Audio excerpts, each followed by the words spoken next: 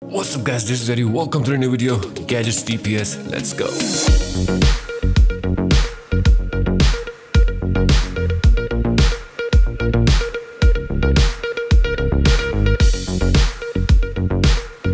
Alright, so here we are with Gadgets mid-range AoE loadout. This is gonna be might based loadout, so we're gonna focus on might. My might is 187,760 and I'm maxed out right now 300 CR, 396 CR and let's look at the gear mods. So I'm using rifle and the Blast Adapter 5 weapon for rifle. Supercharged Neo Venom Boost 3 for head socket. You can also use Supercharged Asphyxiation Gas or Supercharged Word of Power. Escalating Might 5 for neck. Berserker for back. Penetrating Strikes for chest. Restorative Fear Gas for legs. Maximum damage or improved stealth for hands, but I prefer improved stealth. Tumbling Master for feet. You can also use Deadly Block or Explosive Block uh, depending on your movement mode. Now, looking at the augments, we're gonna use Might augments, Mighty, Warded, the maximum you can you know access and mighty implants adaptive augments and origin augments basically. So since we are might based make sure they're all might based augments. And then we are going to look at the artifacts so we are going to use three main artifacts as always transformation card strategist card and quislet uh, you guys know i try to make my loadouts around these three artifacts because to be honest these three work with any power set so we're gonna focus on these three. Transformation card will give you 20% critical chance and 30% critical magnitude on your attacks. It will also give you 3% might, 3% power, health, restoration, and precision. So make sure you get that. And then strategist card will give you a damage over time whenever you will use a superpower. For 8 seconds, it will apply a damage over time. It will also give you 4% might, dominance, restoration, precision, and vitalization. And if you have it at rank 200 it will double the proc chance of tactical advantage which is your damage over time for 8 seconds and also increase the potency of tactical advantage by 30% so make sure you have this and transformation card at rank 200 they work awesome together. Number third is quislet. Quislet is your pet. It's aoe damage so whenever you will use a superpower, it will cast a powerful attack that will hit up to 8 enemies within with a 5 second cooldown. So every 5 seconds, uh, since this is a you know might best loadout, you're continuously popping your powers, popping your superpowers. So every 8 seconds it will do a powerful attack. Second thing is whenever you will use a supercharge, Quislet will release a powerful attack. So 5000 supercharge cost will deal medium damage and using a 10,000 cost supercharge will deal a high damage. But nobody uses 10,000 supercharge so we're just gonna be sticking with 5000 supercharge. So it will do a medium damage up to you know hitting up to 7 additional targets.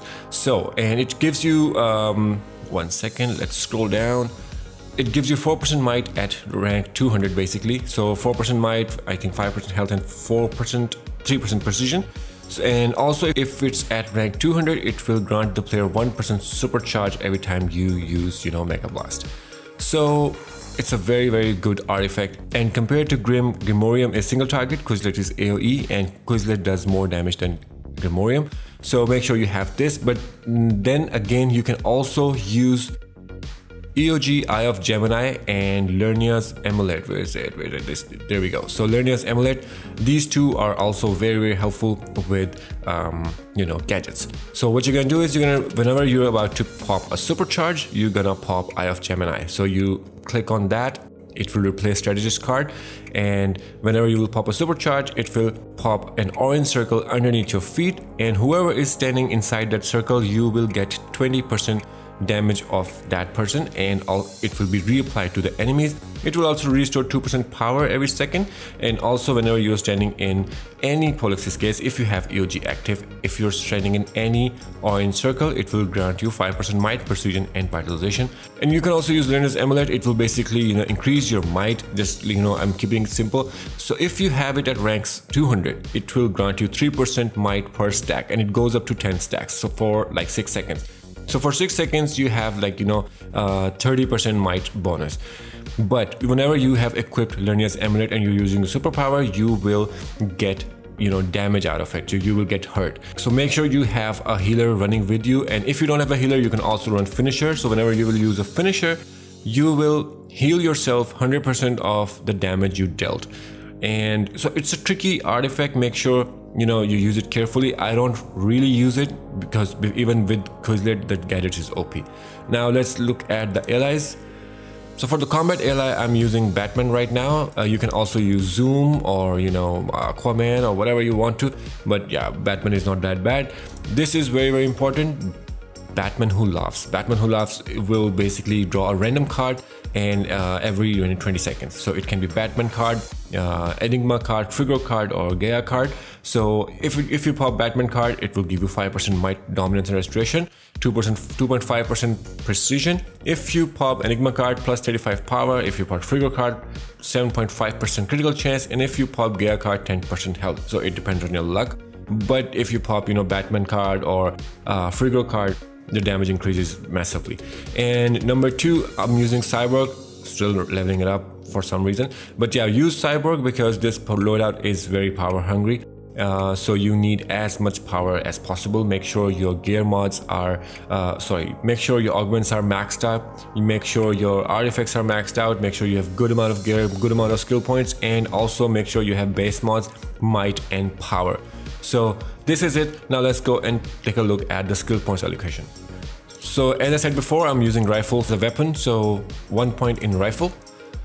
Under super speed, flight, acrobat, uh, just get the first one. If you have extra skill points, get these five. This will give you some extra power, so that's good. Uh, speed drain is not necessary, but if you are gonna be using EOG, uh, you should get that. So this is optional. Under iconic powers, robot sidekick is optional. Word of Power and Neo Venom Boost are also optional, but I like to use them. So I'm gonna show you how to use them and what not to use and what to use. So in the stat points, this is the setup. We're gonna be using super powered, so it's gonna give you 10% might, 10% power, 25% power regeneration. So make sure you get this. Then critical attack chance and then critical attack damage. Put everything here and then put everything in might and power. So you know, the more might you have, the more damage you're gonna do. And then if you have extra skill points, I like to put everything in precision because I like to clip my weapon grenade. So the more precision I have, the more damage I will do. Uh, in the end, uh, just clipping my weapon grenade with the superpowers. But if you are afraid of, you know, uh, dying too much, uh, you can go and put everything in health. So this is the skill point allocation. Now let's go and take a look at the loadout. Alright, so here's the loadout. I tried to kept it simple and it is very simple. It is very easy to do. You don't have to worry about too much jump cancelling and stuff like that. And still it does great damage. So here we are. The first one is Napalm Grenade. Napalm Grenade is your damage over time on only 100 power cost and it burns the enemy. So we're gonna pop that. Then we're gonna pop Fear Gas. So burns enemies and when used against electrified enemies. Electrified enemies take additional damage and burning enemies take additional damage as well. This is also your damage over time. Number 3 is Vortex, dazed enemies take additional damage. It's a burst damage power, so power cost is 300. Number 4 is Paralyzing Dart. Paralyzing Dart, if the enemy is dazed, electrified, frostbitten or burning, it will take additional damage. Paralyzing Dart will do burst damage as well. Number 5 is Stealth, we're gonna look at it in a second. And number 6 is Suppressor Turret. So Suppressor Turret is your pet basically, it will do additional damage if the enemies are electrified or burning and flamethrower will do additional damage if the enemies are dazed or frostbitten. So we are focusing on this one right now, burning electrified mostly. And also enemies are gonna be dazed because of stealth. Enemies are gonna be burned because of napalm grenade. So this is it. So now what you're gonna do is you're gonna pop four and fifth together. So clip four and fifth, and we're gonna go into stealth. So this is the stealth loadout and now I told you I'm using Neo Venom Boost and Word of Power. If you don't want to use it, you don't have to. You can use the gadgets, you know, supercharge as gas. And uh, number we're gonna use EMP Pulse. This is the only power you need to be honest in this loadout as a stealth. And then do not forget to put Suppressor Turret in here because um, if you don't have Suppressor Turret, it will be destroyed every time you go into stealth and you need you will have to you know pop it again and again and again. So make sure you have it so it doesn't get destroyed. Put suppressor turret this is optional. You don't have to use it. This is optional. This is optional. So but let me just go through it quickly. Neo Venom boost will grant you extra damage output from your superpowers. So if you pop this 5000 supercharge cost you will do extra damage. Uh, damage is increased by around 40%. Number two is ASGAS. ASGAS is basically your uh, damage over time. Uh, same thing, 5000 supercharge cost, but cooldown is 30 seconds and does you know heavy damage over time. Number three is Word of Power. Word of Power will increase your critical uh, damage and critical critical chance So I think around 10% critical chance and 8% critical damage. So recently upgraded as well. So supercharge cost is 5000 but cooldown is only 12 seconds. So if you're running with EOG healers, you know, there are two healer, EOG healers uh, running greens and you are getting a supercharge charge really fast. You don't need anything else. You can just pop word of power again and again. But in you know different situations require different supercharges so you can actually run three supercharges under stealth but it's optional. So if you do not like iconic powers you can only run asphyxiation gas it will do great damage as well. So EMP Pulse is burst damage, but it's close range. So make sure you're close to your enemies and under stealth, it does additional damage as well. And dazed, electrified, frostbite and burning enemies will take additional damage. So the rotation is gonna be something like this. You're gonna start with four and five, clip them, four, five, and then just pop four barrel display is optional. It's pretty quick getting out of you know stealth with emp pulse. But if you wanna you can also get barrel display. Barrel display is your weapon buff. It will boost your weapon attacks from your you know rifle grenade or whatever weapon you're using. So you can do that but just pop you know four and you're good to go. So four five four five and then you go and start with the rotation. One two three four. One two three. One two three and by this time this will be out of cooldown. So four five again and then boom. That's it. Very simple loadout. Simple clipping no jump canceling anything like that. Uh, so we're gonna go and see the numbers on the sparring target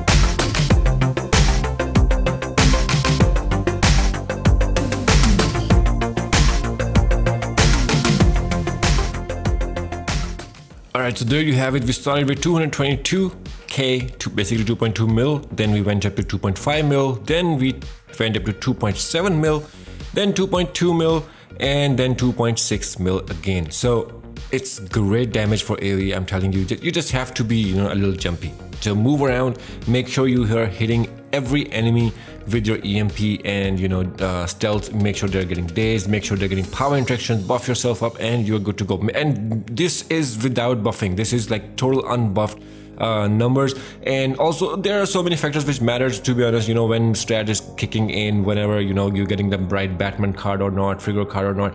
And it, a lot of stuff matters but still this is the base numbers and you get the idea. It goes up to 271 273 i have hit up to 285k as well but the other numbers just went down dude. So this is it. So let's go and check out single target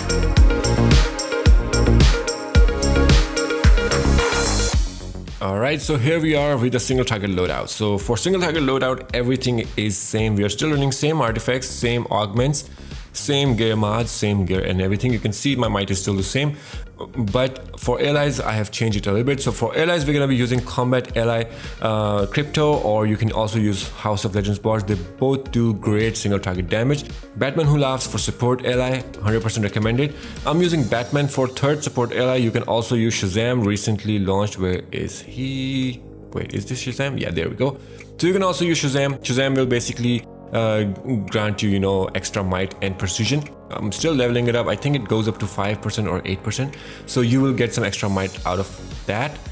But right now I'm using Batman since I'm still leveling up Shazam. So it, this will basically grant me 9% might and 4.5% precision for the first 6 damage hits only. So the, you can see the counter when you're attacking the enemies. So for the only first 6 ticks it will get, get me 9% might and 4.5% precision and when the com combo counter will reach 100 it will reset and then I will get it again. So it's not really hard to get that extra you know might and uh, precision out of you know Batman. So, so these are your two options for the second support ally. Now let's go and quickly look at the skill points allocation. Skill point allocation is actually same same into rifle. Web uh, sorry super speed is same. Iconic powers are same. Again optional and stat points are same let's put these over here I like to keep one you know spare in case I need anything so let's go and quickly take a look at the loadout So this is the loadout right now. So number one is Taser Pull. Taser Pull is great to be honest. Only 100 power cost, it electrifies the enemies, dazed enemies take additional damage, frostbitten enemies take additional damage. It's a pull but it won't really work in a DPS role but great damage and you can spam it kind of again and again. Number two is Fear Gas. Again, same thing. Damage over time burns when used against electrified enemies. So enemies are going to be electrified right now from the Taser Pull. Well, the target, which is single target. So fear gas is gonna burn them, burn the target, and electrified enemies will take additional damage. Burning enemies will take additional damage. Number three is paralyzing dart, same thing as before. AoE damage, burst damage, dazed, electrified, force and burning enemies will take additional damage. Number four is Photon Blast. Photon Blast is your finisher. It's a damage over time, but if the target's health is below 35%, it will do additional damage. Number five, Stealth. Number six, I'm using Robot Sidekick. You can also use Suppressor Turret. To be honest, I found better numbers with Robot Sidekick for single target and better numbers with, you know, Suppressor Turret for AoE. So you can, it's up to you. It's, if you want to use uh, Suppressor Turret for your uh, single target loadout as well. It's up to you. You can totally do it. But yeah i'm using you know robot sidekick. So under stealth we are using only one surprise attack. That's it. So this is gonna be a little bit tricky loadout. So make sure you have robot sidekick or suppressor turret in here whatever you're running. Same as before same three uh, supercharges. You can also use speed drain speed drain is 2500 supercharge cost. So if you're running eog you can pop you know this one four times instead of running these only two times. So it's up to you. So here's the rotation. Rotation is gonna be clip 3 and 5, basically same thing as before. Clip dart with stealth. Make sure you are close to your target, not like super close, you can stay mid and close range, right? In somewhere in between that. So you do that, you pop surprise attack. Surprise attack will take you out of the stealth, but it does great damage. So 250k easy damage base damage kind of base damage but then it goes up to 450 550k sometimes depending on how buffed you are where you are depending on instance and everything like that. So, so you're gonna do surprise deck you'll be out of the stealth. Then you're gonna do taser pull fear gas dart taser pull you know just will be able to cool down fear gas dart so you can do keep doing that but whenever photon blast is out of cooldown you pop that Whenever stealth is out of cooldown, clip dart with stealth again and go back to surprise attack. So this is the loadout. Does great damage, but you will have to kind of move a little bit back and forth. But this is what you get when you don't, you know, do clipping or you know jump canceling and stuff like that. But yeah, this is this, uh, and you don't run, you know, solar amplifier uh, or you know the you know the meta stuff. So, but still, great damage, and you'll see what I mean in a minute. So let's go to the sparring target and see the numbers.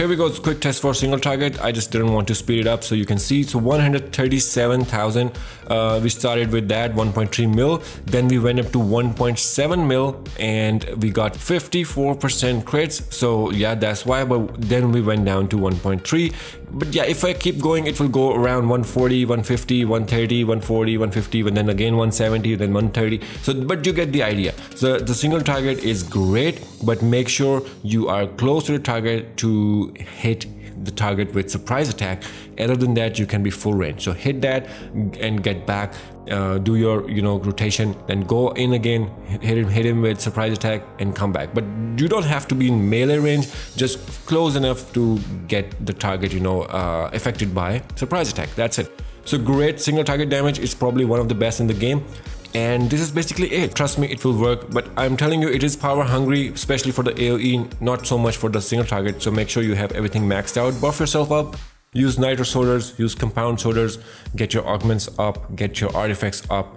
Make sure you have enough skill points. Some people say skill point doesn't matter but yeah it does matter to be honest I don't care what other people say. So, but make sure you get everything in order and use everything you can whenever they're out of cooldown. You know, allies, your henchmen, your orbitals, your pets. And if you're gonna be art swapping, just, you know, uh, run with EOG, Learner's Amulet, you're good to go. You can also run Scrap. You can also run, you know, uh, what's it called? Dead King Scepter or stuff like that. There are a lot of options, to be honest, but don't make your life difficult enjoy the game and do this. So this is basically it. Uh, if you have any questions just comment down in the comment section below and i will get back to you as soon as i can. And i will see you guys next time